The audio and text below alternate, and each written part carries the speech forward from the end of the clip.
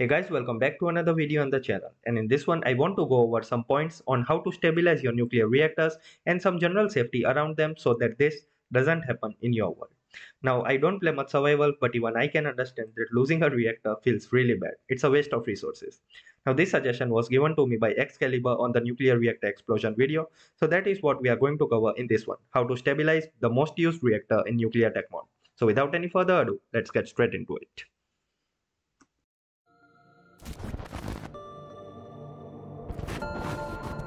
Alright, the first point that I want to cover is chunk loading. Now you want to make sure that the chunk in which the reactor is placed is always loaded. So if we wander far away from here, then this chunk right now will become unloaded. To keep it always loaded, make sure to use a chunk loader. This chunk loader right here is from Chicken Chunks mod. And you can adjust the radius or basically how many chunks you want to load around this chunk loader. Make sure that the reactor is always in a loaded chunk and this especially applies to very hot running reactors like RBMKs and DFC.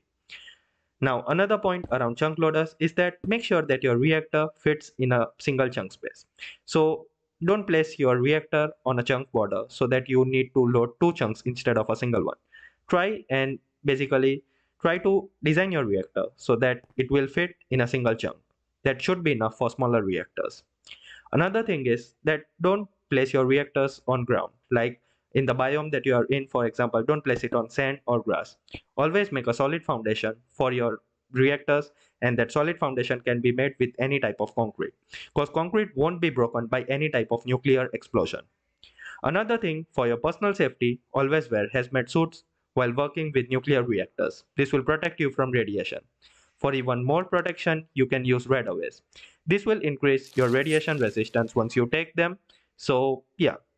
And another thing, you can also use player decontaminators because while you stand on decontaminators, all your radiation will go away. And then we also have the radiation absorbers, which will absorb radiation from a single chunk or the chunk in which they are placed. Different absorbers will absorb at a different rate. Closed water circuit will apply to every nuclear reactor in the mod which is cooled by water. So we have a tank of water which goes in a nuclear reactor where fission takes place. Fission generates heat which converts water into steam. That steam then gets compressed and passes through different sets of turbine and finally gets converted into low pressure steam. The low pressure steam ends up in a cooling tower or a condenser where it finally gets converted back into water and ends up in the tank or our main water tank. The first problem that you can encounter with this system is you won't have enough water or you won't generate enough water that can cool the reactor fast enough. So to solve this problem, simply add more water tanks. Like add tanks with higher buffer, higher internal buffer and add heavy infinite water tanks in them so that you have more than enough water which is much better than having less water. Another thing, steam can get clogged up either in the turbines or in the reactor itself and that is not good. If steam is clogged up, that means water circulation will stop. This problem won't occur with Leviathan steam turbine because it converts steam extremely fast, but this problem will occur with normal steam turbine and also the industrial turbine. Another thing, make sure to use enough cooling towers because if you don't have enough cooling towers, that means there is not enough water circulated back into the system to complete the closed loop. So yeah, have enough water, have enough cooling tower and yeah, make sure to use enough turbines. Now we start with the first reactor, which is the Chicago pile. So the main reason that the Chicago pile will explode is if you are producing neutrons and they have nowhere to escape. So here I have made a simple two layer Chicago pile with no escape for neutrons. So there we go. As soon as I placed the neutron source, which is the radium beryllium neutron source, the Chicago pile exploded. A simple solution to that is that once you make layers, make sure to leave some gap between them.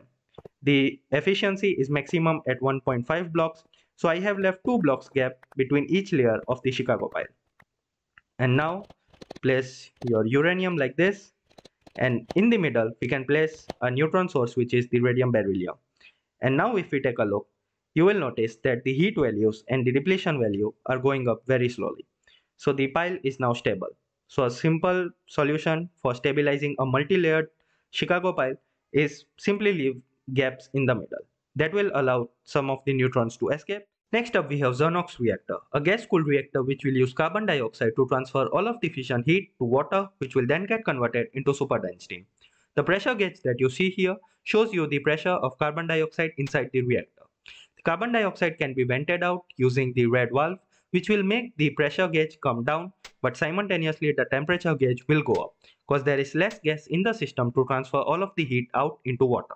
So you want to maintain a nice balance between temperature and pressure. Neither one of these gauges should ever reach the maximum value because if they do, the reactor will explode.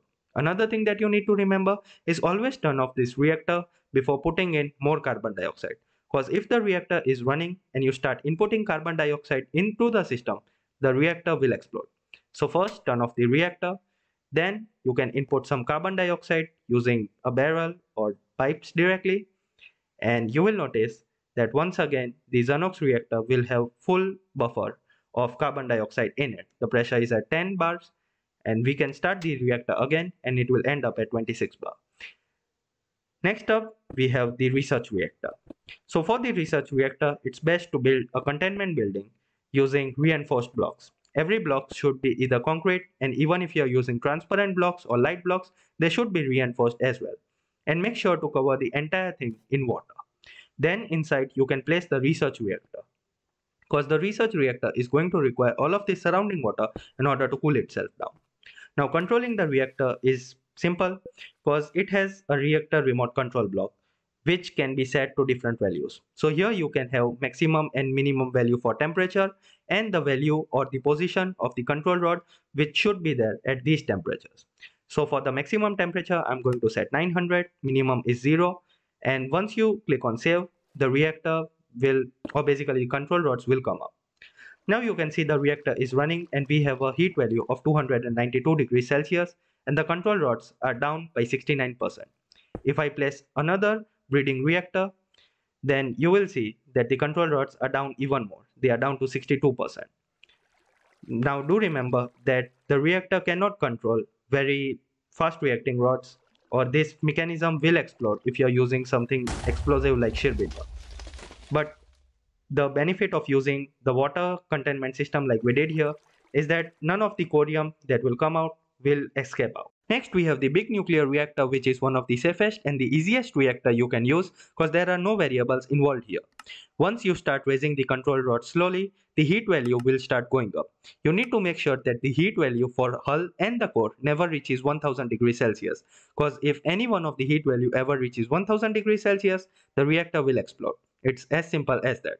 Now the fuel that I'm using here is the most dangerous one. It is Schrabidium. But when you're using some kind of lower grade fuel like uranium plutonium, heat will never reach 1000 degrees Celsius even if you raise the control rods 100%. So yeah, raise the control rod slowly. It's in your hands. The entire reactor is manually operated and the reactor will never explode. Next up we have the RBMK, a reactor which deserves a video all on its own. Now I am no RBMK expert but I have exploded my fair share of reactors so here are the things that I have learned. Placing control rods is crucial. So make sure to place control rods between every two fuel rod or between fuel rods and reflectors. Now not only will this help in controlling the amount of neutrons passing through the fuel rod but it will come in handy when you are in a case of emergency. So if your reactor is AZ5 compatible and you press the button, all of the control rods will come down, thus shutting down the reactor and preventing a meltdown. Another thing, make sure to have more than enough steam channels placed in your reactor so that it can cool down actively using water by getting converted into steam. Even better than using normal control rods, you can use automatic control rods. With this, you will be able to set the level of the control rods at maximum and minimum heat and the value of the maximum and minimum heat are also customizable. So you can set them just below the melting point of the fuel rod and that can avoid a meltdown. Now this only applies for very hot running reactors but you can also use RBMK coolers which will make sure that the fuel rod which is placed adjacent to it or any column placed adjacent to it won't go over 750 degrees Celsius.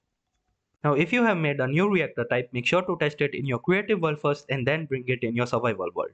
Another big factor that goes into play while making an RBMK is the vast array of fuel available that you can use in the reactor. The function type that you generally want to go for is the medium function type as that's very easy to stabilize. Now if you are planning on using a fuel rod that's dangerous function type, also make sure to stabilize it use a fuel rod which has a safe function or an Euler function like the thorium fuel rod and you can also use RBMK coolers with it so that the temperature doesn't go over 750 degrees Celsius. Now like the breeding reactor, for the RBMK reactor you can make a containment building made entirely out of concrete Here I have used glass just to show you and make sure to have water on the base. Now this goes a long way in cleaning up or easing the process of cleaning up the reactor. So here as you can see a reactor exploded. Not a lot of debris flew, flew off because it was only a single rod. But look what happens to the corium that we had or which came out of the reactor. As it is not going to touch water, all of the corium is simply going to solidify here and then it becomes very easy to clean up rather than cleaning up a very big mess of cobblestone or sorry cobblestone and corium. Alright, coming to the end, we have the fusion reactor. Now the fusion reactor has two main components, the blanket and the battery that keeps the magnet going. Any two of these things, if not there, is going to make the fusion reactor go boom. So make sure to keep an eye out for the durability of the blanket and also the power that the fusion reactor will need. Because if this power runs out, there we go. Now this explosion is not very big unless you are using the balefire fuel but it's still a waste of resources. So yeah, that's that. Stabilizing the cyclotron is the simplest out of them all. Just make sure to have coolant in the cyclotron before running it, otherwise it will explode in a violent manner. And with that, we come to our last reactor, which is going to be the DFC. Here, there are two components at play, the emitting power and the stabilizing power. Just make sure that the heat saturation never reaches 100%. As you start raising the emitter power, the heat saturation will also start going up the more powerful fuel that you are using, the more the heat saturation will go up. And if heat saturation reaches 100%, that means your reactor is going to explode. So yeah, I hope you guys found this video helpful. If you did, do smash that like button and also subscribe to the channel for more content like this. Peace out my guys. Stay safe.